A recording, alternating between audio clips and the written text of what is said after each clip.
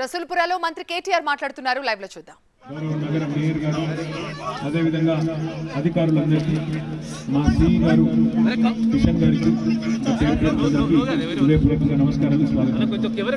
ఎన్నో దశాబ్దాలుగా ఈ ప్రాంతాన్ని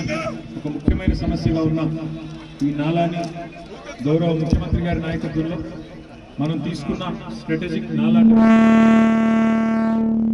స్ట్రాటజిక్ నాలా డెవలప్మెంట్ ప్రోగ్రాంలో భాగంగా మొత్తంగా మొదటి దశలో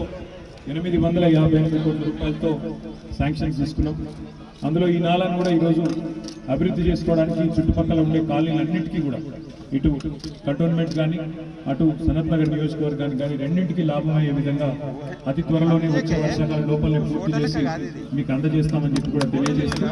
ఇది మాత్రమే కాదు ఇది మాత్రమే కాదు మొన్ననే కంటోన్మెంట్లో గౌరవ ముఖ్యమంత్రి గారి ఆశీర్వాదంతో ఏ విధంగానైతే హైదరాబాద్ కార్పొరేషన్ పరిధిలో ఇరవై వేల లీటర్ల వరకు ఉచితంగా మంచినీరు ఇస్తా ఉన్నాము అదే పద్ధతుల్లో కంటోన్మెంట్లో కూడా ఇవ్వాలని చెప్పి గౌరవ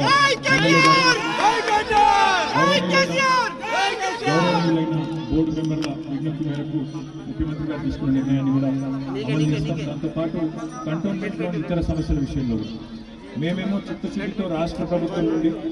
కంటోన్మెంట్ ప్రజల యొక్క బాగోగులు వాళ్ళ సంక్షేమం వారికి సంబంధించిన మౌలిక వసతులు వీటి పట్ల చిత్తశుద్ధితో